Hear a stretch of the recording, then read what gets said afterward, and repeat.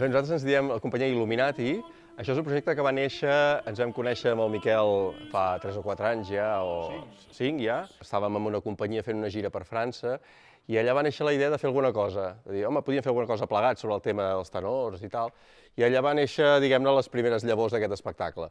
Llavors, doncs, bueno, vam escriure una mica de guió, ens vam posar a treballar, vam buscar un director, un tercer membre, diguem-ne, i vam crear la companyia que som i l'espectacle doncs, que us venim a oferir. Bueno, la idea és eh, bàsicament ensenyar tot allò que passa o que pot passar en un concert de tres tenors.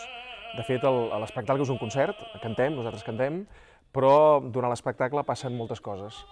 Aleshores, eh, és una mica explicar totes les interioritats que hi ha dintre el món dels tenors, la seva competència, qui fa la nota més llarga, qui aconsegueix aguantar més, etc etc etc. I està fet en clau d'humor, tot plegat. Però cantem, cantem molt, això sí. Però és una paròdia feta des del, eh, feta des del respecte absolut a la professió de cantar, que és de les coses més difícils del món. Sí. De fet, som Eh, cantants. som vull dir cantants que nosaltres, vull Som dir els que primers que nosaltres tampoc ens en volem... No som, no som diguem, eh, no som actors que cantem, sinó som cantants que, que, que actuem, Això. en aquest sentit. I aleshores eh, l'objectiu és aquest, és que la gent s'ho passi bé, bàsicament. Amb aquest espectacle és molt gestual, més que no, no hi ha un text que, que unifiqui el, el concert, sinó que el text és... És la música. El guió, el guió és, és gestual gairebé tot. La luna in mezzo al mare, mamma mia, si fingerà. L'ora bella per guardare, nell'amor mi tringerà. Al mare, mamma mia, si salterà. L'ora bella per danzare, chi in amor non mancherà.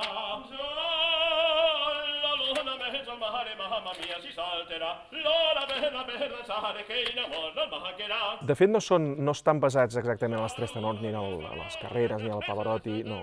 Simplement són tres tenors de tipologies diferents, diríem, i cadascú doncs, hi ha un tenor que és més el, aquell, el tenor aquell de pit descobert, que va així, que allò, jo t'ho faig tot, els aguts i tal. Després n'hi ha un altre que és més tranquil·let, que és més com de música antiga, i després n'hi ha un que té, diríem, una certa peculiaritat perquè té ganes de cantar altres coses. Vale? A part del repertori clàssic, té ganes de cantar altres coses. El repertori és, és el típic d'aquests concerts que tots vam més o menys conèixer, eh, dels tres tenors que comentava el Miquel, i surten doncs, tot això, les napolitanes, àrees molt conegudes, fragments també de música americana, hi ha tots els hits, per entendre. Balls, també ballem. Sí, també ballem. Ho Ballem intentem- molt bé, ballem molt intentem bé. ballar. Sí, sí és, és una mica, diguem-ne, portat al límit. Això que explicava ell, coses que poden passar i competitivitats entre cantants i tal, però portat molt al límit, a l'extrem. Andiamo dalla terra alla montagna, nu passo c'è, molt gratificant, no?, poder treballar amb, amb música seriosa, de- d'aquesta manera dita, però fer riure la gent. Realment és, és algo molt, molt gratificant. De fet, una de les, jo recordo una de les coses més boniques que, que portem molt poc temps, eh, però recordo una senyora molt gran, molt gran, eh, quan vam debutar a la Sala Gaudí, una senyora venia amb cadira de rodes amb els seus dos fills.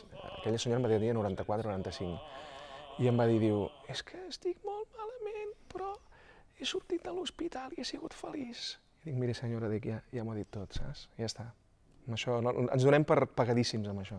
Almenys, almenys jo, eh, parlo per mi. És, sí. és una de les sensacions més boniques que pots tenir de dir, fer feliç a la gent i que la gent rigui, que la gent s'oblidi. Ni que sigui una horeta, deu, de, de tots els tràfics de la vida.